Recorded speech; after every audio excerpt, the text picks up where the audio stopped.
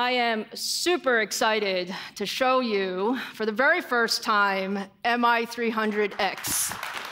超维发表会由执行长苏姿峰亲自亮相最新人工智慧晶片，配备一百九十二 GB 记忆体，远超过对手辉达的一百二十 GB 记忆体，预计第四季开始量产。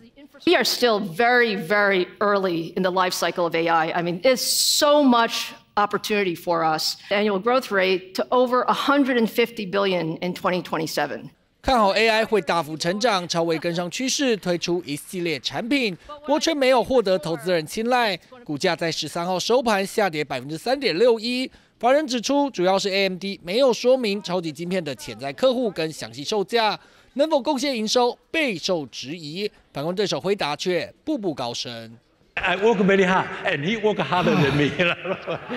so this system, for example, exactly the same system, cooled by air. Out by a liquid. Yes, beautiful. Good. 做素颜，做素颜，做素颜哈。六月初国际电脑展，辉达不止展示超级晶片，更替客户们站台亮相最终产品。惠达股价自今年以来已经上涨超过百分之一百七十，并在 AI 晶片市场占据百分之八十到百分之九十五的销售量，市值也突破兆元美金。超微想要超越，挑战不小。而两大巨波竞争，护国神山台积电都能受惠。